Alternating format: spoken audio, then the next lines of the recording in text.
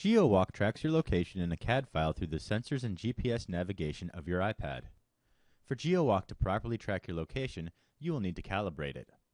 The easiest way to calibrate this tool is to walk between two known points in your drawing, for example, one corner of a building to another.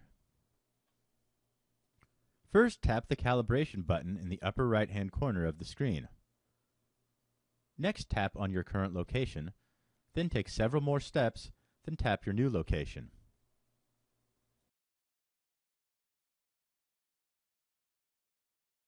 After you pin the second point, you can adjust the pins for better alignment by picking and dragging each pin.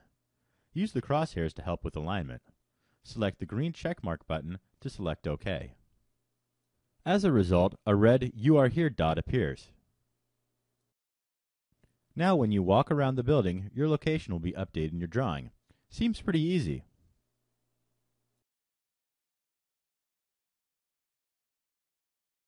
Unfortunately, in some cases, calibrating the GeoWalk tool is not always this simple.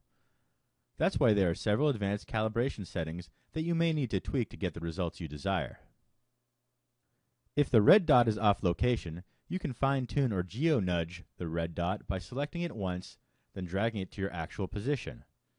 You can also use the yellow node to rotate your heading to the correct direction. The headlight display indicates actual directional heading. To properly calibrate GeoWalk, start off by using the Calibration Wizard. First tap the Run Wizard button. The Calibration Wizard will come up.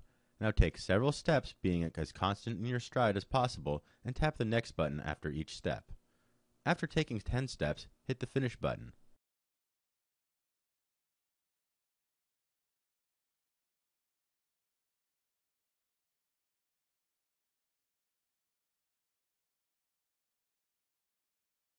If you are still not satisfied with how well your location is being tracked, you can further tweak the calibration settings using the step calibration sliders.